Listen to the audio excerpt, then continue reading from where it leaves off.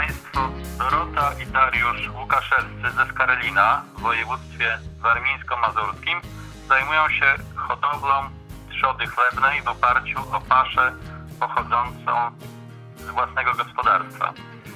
Zaistniała potrzeba budowy bazy magazynowej do zboża i zwrócili się do firmy Consil, producenta lejowych silosów zbożowych o pojemności od 50 do 300 ton z prośbą o y, przedstawienie oferty. Consil zaproponował i y, w bieżącym roku zbudował układ bateryjny w oparciu o trzy silosy 90-tonowe i podnośnik kubełkowy o wysokości 26 metrów z konstrukcją.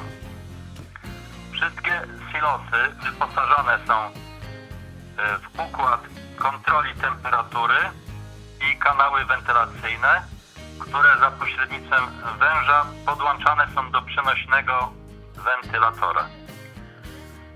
Dzięki odpowiedniemu układowi silosów i wysokiemu podnośnikowi możliwa jest rozbudowa silosów oraz przerzut ziarna między silosami i paszarnią oraz magazynem płaskim z wydajnością od 20 do 45 ton na godzinę.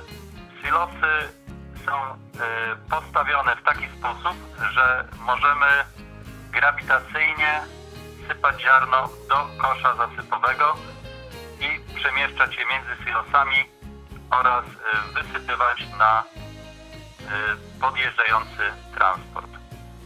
Co prawda do końca żniw nie udało się zbudować baterii, jednak już od września zboże z tych silosów wykorzystywane jest do produkcji paszy i tuczenia trzody.